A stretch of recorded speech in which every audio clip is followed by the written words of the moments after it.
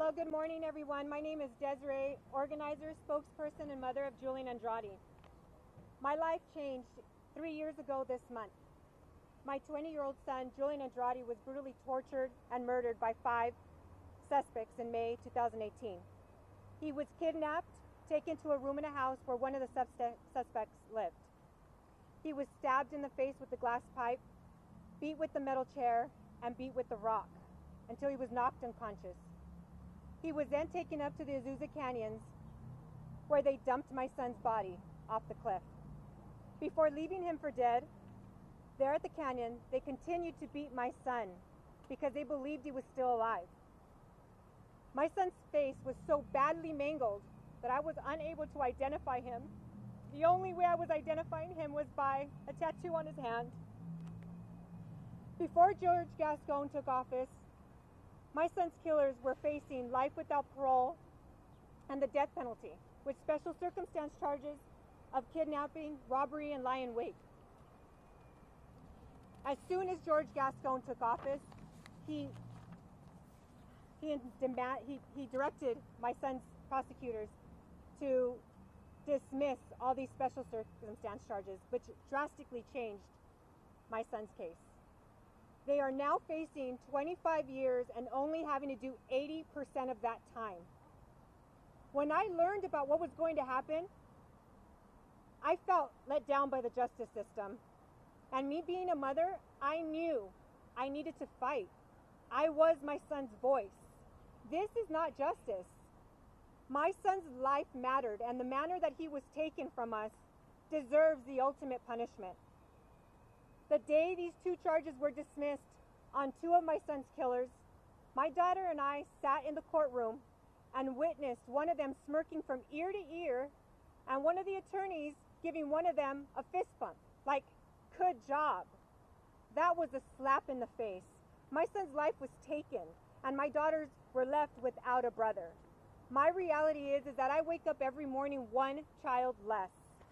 I am disgusted that George Gascon and his spokespeople dismiss this recall effort as a part as partisan or political. This is far from the truth. They are once again ignoring and belittling us victims. This has nothing to do with political. Crime is a crime. Crime does not see Democrat. Crime does not see Republican. Crime does not see independent. Crime is a crime. This is an effort about justice for my son, justice for victims, justice for future victims, and keep LA County safe from violent crimes. I truly believe that George Gascon campaigned under false pretenses. I highly doubt he would be in office right here if people knew how he was going to dismantle the justice system by releasing violent criminals such as murderers, rapists, child abusers, when Gascon states that victims want this radical pro-criminal agenda, he's absolutely wrong. This statement is asinine. I have not encountered one victim or victim's family that does not want the ultimate punishment for the ones that have destroyed their lives. Do I believe in reform and rehabilitation? Absolutely. But I do I believe in releasing or reducing sentences for violent crim criminals is reform? Absolutely not. All that is doing is attracting crime in LA County. Gascon has recently stated that he's here for his victims. That's a joke.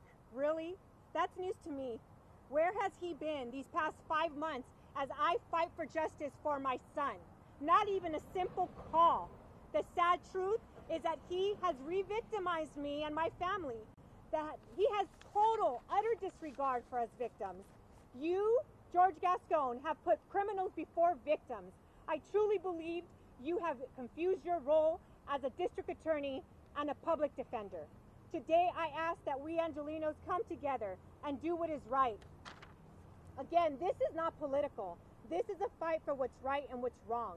You don't have to be a victim to understand the importance of this and how dangerous District, District Attorney George Gascon is for our community. I ask you, please, to sign this recall petition for not only my son, but for all of us victims and future victims out there. Please go to recallgeorgegascon.com. You can download, print, and sign the petition. And you can also volunteer to, call in, collect signatures or donate if you wish. Thank you all for giving me this time today.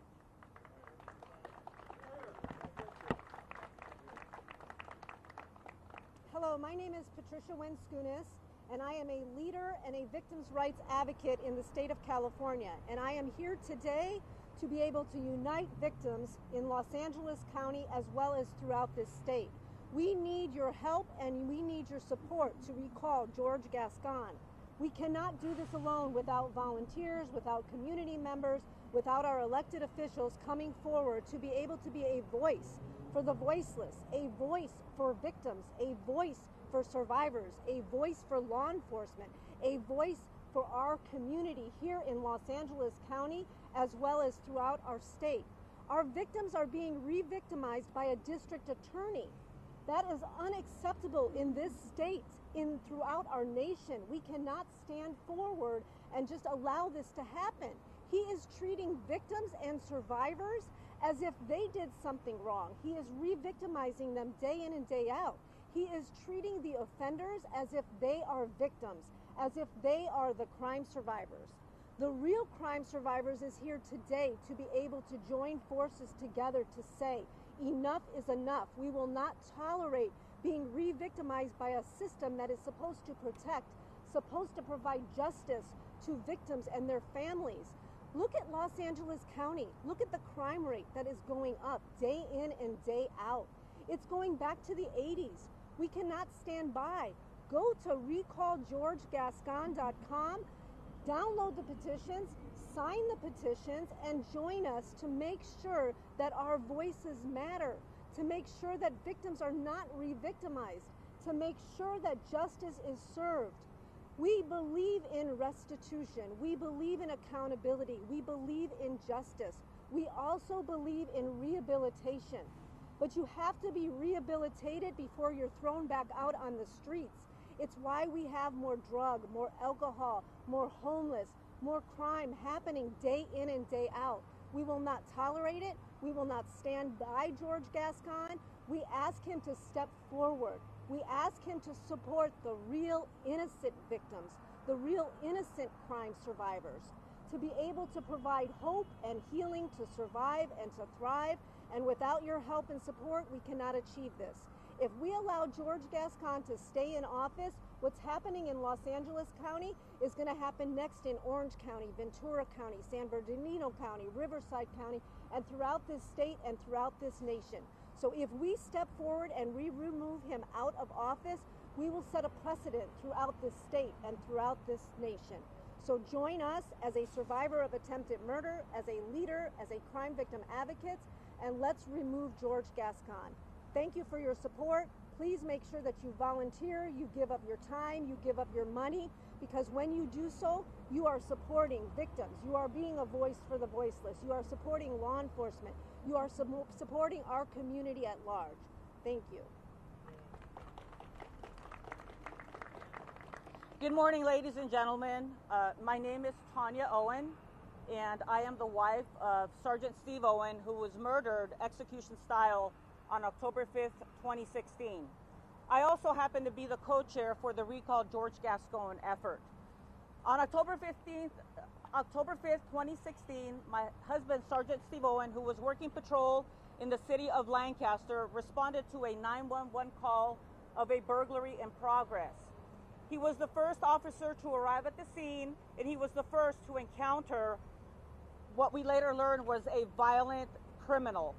During that initial engagement, the suspect fired one round, which completely disabled my husband, knocking him back to the ground. The individual, instead of running away and getting away, he made a conscious decision to blatantly walk or run up to my husband. He stood over him and shot him three more times in the face. And then the last round, the fifth round, he shot his, uh, his badge. To me, as a retired law enforcement officer, he's clearly sending, he's clearly sending a signal indicating that he doesn't care who gets in his way. He's going to do whatever it takes to to uh, get away, and it doesn't matter who gets in gets in his way. if someone is capable of killing a law enforcement officer, who is he not willing to kill? We need to pay attention to this, ladies and gentlemen. It is our time to act, our time to fight. We, the people, still hold the vote. It is up to us to come out here and fight aggressively against George Gascon. What I've heard from him and his underlings are just ridiculous uh, excuses, sorry excuses for why they're doing this. They're saying that we are, they don't know where the support is coming for this recall effort. I'll tell you where it's coming from, Mr. George Gascon. This is a grassroots effort by victims, by law enforcement, because we are going to fight against you. And I'm going to tell you right now, just I'm going to, like, I'm going to tell Gavin Newsom, Governor uh, Gavin Newsom, your, your days are numbered. George Gascon, your days are numbered.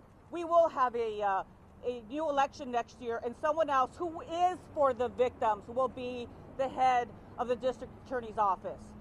You know, on October 7th, excuse me, on December 12th, the day George Gascon was elected to office, within minutes of being elected, he tweeted and said that any current cases that were uh, looking at the death penalty were out.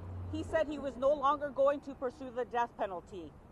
Prior to that, Deputy District Attorney Michael Blake, who was uh, who is in charge of my case, was actually going to take that case up to a team of deputy district attorneys who were going to uh, decide based on the facts if we were going to pursue the death penalty. And absolutely no doubt we would have done that.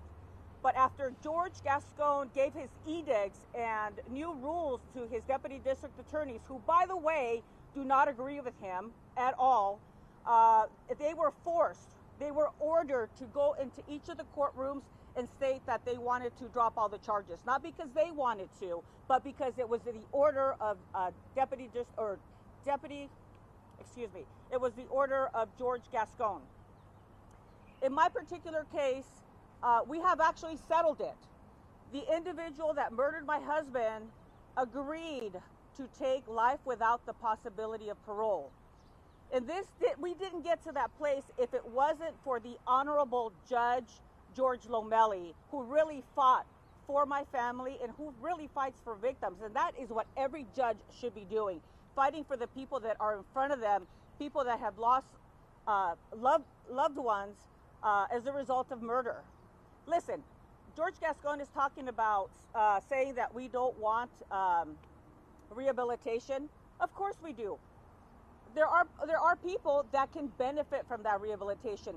That is not what we are fighting for. What we are against are George Gascon releasing murderers, serial rapists, uh, child torturers, child molesters. We're talking about monsters that are in our society. That is what we are absolutely against. We don't need those types of people released. Um, and so, at this point, what we need to do is we need everyone to participate. We need to have an aggressive campaign. We need contributions. We need volunteers. Please go to the recallgeorgegascon.com forward slash petition. Please get those petitions. Let's get them out there and let's have as many people sign. By October 27th, we need a total of 590,000 signatures. We can do this, LA. Thank you.